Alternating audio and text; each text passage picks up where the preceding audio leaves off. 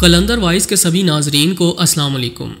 क्या आप जानते हैं कि कुरान मजीद मरने के बाद मैयत के किस तरह से काम आता है और कब्र के अंदर कुरान पाक अजाब देने वाले फरिश्तों से किस तरह से झगड़ता है और इनको वापस जाने पर मजबूर कर देता है और जो शख्स कुरान की बाकायदगी से तिलावत करता है और इसे मोहब्बत करता है तो कुरान करीम किस तरह कब्र में और मैदान हशर में इसके काम आएगा?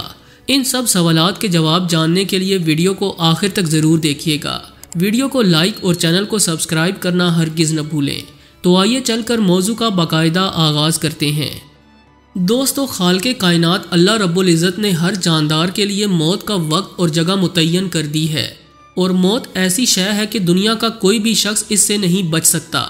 मौत पर इंसान के अमाल का रजिस्टर बंद कर दिया जाता है और मौत पर तोबा का दरवाज़ा बंद और जजा और सज़ा का वक्त शुरू हो जाता है। हजूर अक्रम वसल्लम ने इरशाद फरमाया, अल्लाह ताला बंदे की तोबा कबूल करता है, यहाँ तक कि उसका आखिरी वक्त आ जाए। अल्लाह ताला ने अपने पाक कलाम की मुतद्दत आयात में मौत और इसकी हकीकत को बयान किया है, जैसा कि इरशाद रब्बानी है। हर जानदार को मौत का जायका चकना है और तुम सबको तुम्हारे आमाल के पूरे पूरे बदले कयामत ही के दिन मिलेंगे। फिर जिसको दोजक से बचा लिया गया और जन्नत में दाखिल कर दिया गया। वो सही मानों में कामयाब हो गया। और ये दुनियावी ज़िंदगी तो जन्नत के मुकाबले में धोखे के सामान के सिवा कुछ भी नहीं। जबकि ये बात भी बिल्कुल दुरुस्त है कि अल्लाह ताला के पसंदीदा और महबूब लोग उठते, बैठते, सोते, जागते और चलते फिरते अल्लाह ताला के ज़िक्र और कुरान मजीद की तिलावत से हर वक्त अपनी ज़बानों को तरोताज़ा रखते हैं। अल्लाह तबारक व ताली के यहाँ इन आमाल का अजर अजीम है। जब भी किसी ऐसे परहेजगार इंसान पर अल्लाह ताला के हुक्म से मौत गालिब आती है तो यही कुरान करीम मरने वाले को कब्र के अजाब से महफूज रखता है। ये कुरान गसल के दौरान मैयत के सीने में छुप जाता है। जब मैयत को कब्रिस्तान ले जाया जाता है तो कुरान साथ होता है। जनाजा पढ़ाते हुए भी कुरान साथ होता है, और जब कब्र में उतारा जाता है, तब भी यही कुरान करीम साथ होता है। और जब मैयत को कब्र में लिटाने के बाद इसके ऊपर तख्ते रख कर मट्टी डालने का मरहला आता है। तो कुरान पाक इसके सीने में से निकल कर इसके सिराने खड़ा हो जाता है। मुनकर नकीर कब्र के अंदर जब हिसाब लेने के लिए आते हैं तो कुरान कहता है, खबरदार हिसाब न लेना, इसके साथ मैं आया हूँ। दोस्तों, इस पर वो फरिश्ते कहते हैं, हम भी तो अल्लाह तबारक व ताली के हुक्म से आए हैं। कुरान करीम कहता है, थोड़ी देर रुक जाओ, जब तक मैं यहाँ आकर हाँ न कहूँ, इसको हाथ ना लगाना। हज़रत अबादा बिन सहाबा रज़ी अल्लाह तहो फरमाते हैं कि रसूल अक्रम सल्लल्लाहु अलैहि ये कहकर रो दिए। फिर आप अलैहि वसल्लम ने इरशाद फरमाया कि कुरान अल्लाह ताला के दरबार में जाकर गिड़गिड़ाने लगता है और कहता है ए अल्लाह तबारक व ताली, तेरा मेहमान आज ही कब्र में आया है। फरिश्ते उसे डरा रहे हैं। ए अल्लाह, अपने फरिश्तों को वापस बुला ले। मैं गवाही देता हूँ। ये मुझे दुनिया में पड़ा करता था। अल्लाह फरमाता है, ठीक है। जब कुरान मजीद कब्र के अंदर वापस आ जाता है तो मैयत सुकून से लेटी होती है। कुरान करीम फरिश्तों को देखता है तो वहाँ कोई नहीं होता। कुरान मैयत को आवाज़ देता है और कहता है कि मैं तेरे से थोड़ी देर के लिए जुदा हुआ। मुझे सही सही बता, तुझे किसी ने सताया तो नहीं। कोई कीड़ा तो नहीं आया, कोई सांप बिच्छू तो नहीं आया।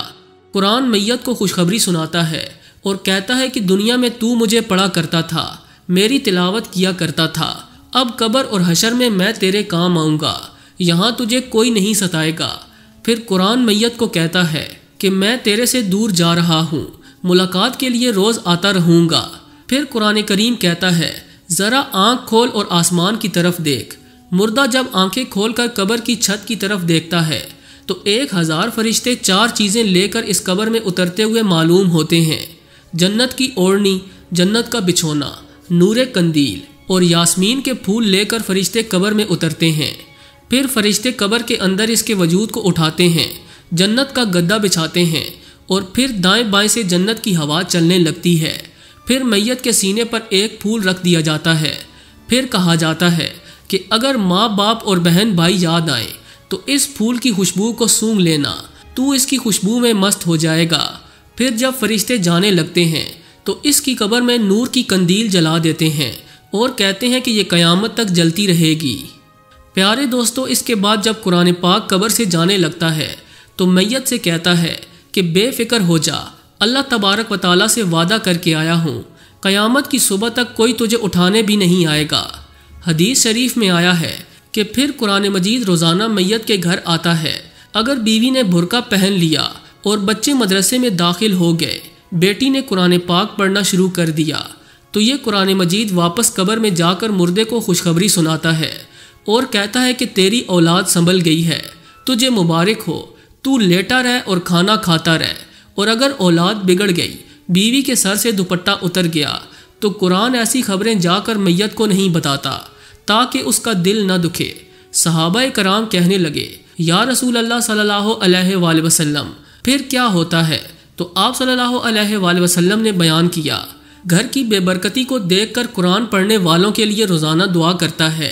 साथ ये कहता है, औलाद बेवफा, माल बेवफा, कारोबार बेवफा, ख़ानदान बेवफा, और ए लोगों, तुम्हें किसने कह दिया कि अल्लाह का कुरान बेवफा है?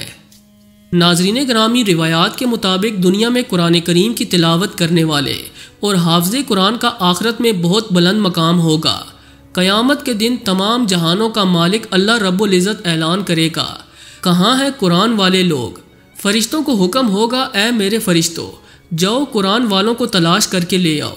यानी जो दुनिया में कुरान करीम की तिलावत किया करते थे और जिन्होंने इस लारेब कलाम को अपने सीनों में महफूज किया, इन्हें ढूंढ कर ले आओ।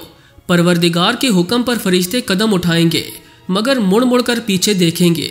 अल्लाह तबारक वाली इरशाद फरमाएगा, क्या हुआ? तो फरिश्ते कहेंगे, या अल्लाह कुरान वालों को कैसे तलाश करें? इनकी निशानी क्या है? ए अल्लाह, इनके जिसम का कौन सा हिस्सा नूर की तरह चमक रहा है? हज़रत आदम सलाम से लेकर रसूल अक्रम सल्लल्लाहु अलैहि तक सारी उम्मतें खड़ी हैं। या इलाही, तेरे कुरान वाले कौन हैं? इस पर अल्लाह तबारक वाली इरशाद फरमाएगा, फरिश्तों मैदान मैशर में जितने मर्द और बच्चे खड़े हैं, हर एक के मुँह को सूंघते रहो। जिसके मुँह से अंबर की खुशबू आ रही है, वही मेरा कुरान पढ़ने वाला है। हजूर अक्रम सल्लल्लाहु वसल्लम ने इरशाद फरमाया कि जब क़यामत के दिन ये उम्मती और अल्लाह तबारक व ताली का बंदा मुँह लटकाए हुए आएगा तो इसके दोनों तरफ़ बादल के टुकड़े चलते आएँगे। अल्लाह ताला इरशाद फरमाएगा, तू शर्मिंदा क्यों है? जब ये बंदा सर उठाकर देखेगा तो इन बादलों के टुकड़ों से नूर बरसने लगेगा। जब ये नूर छम छम इसके चेहरे पर गिरेगा तो इसकी परेशानी ख़त्म हो जाएगी और दिल का डर भी जाता रहेगा। वो बंदा अल्लाह तबारक व से अर्ज़ करेगा, या अल्लाह क्या मामला है? अल्लाह फरमाएगा, एक तरफ़ सूरतुल बकरा है और दूसरी तरफ़ सूर आल इमरान।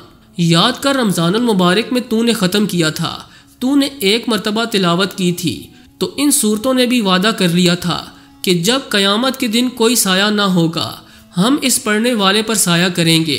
भला जिसके सर पर कुरान का साया हो, खुदा उन्हें जहन्नम में कैसे डाल सकता है? आखिर में दुआ है कि अल्लाह ताला हम सबको मरने से पहले आखिरत की तैयारी करने की तोफीक अता करे और हमें दोनों जहानों की कामयाबी और कामरानी से नवाजे। आमीन, सुम्मा आमीन। जी तो दोस्तों, ये थी आज की वीडियो। वीडियो कैसी लगी, कमेंट करके हमें ज़रूर आगाह कीजिएगा। आज के लिए बस इतना ही। मिलते हैं किसी नई और इंटरेस्टिंग वीडियो के साथ। तब तक के लिए अल्लाह निगेबान।